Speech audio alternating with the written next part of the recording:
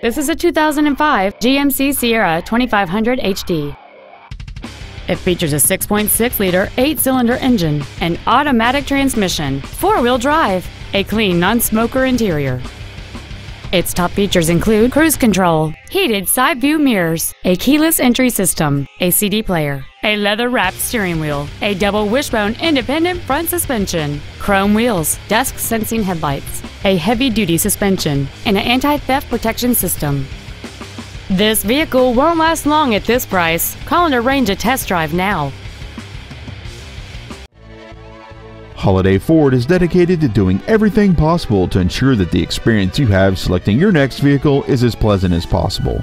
We are located at 1003 Highway 82 West in Whitesboro.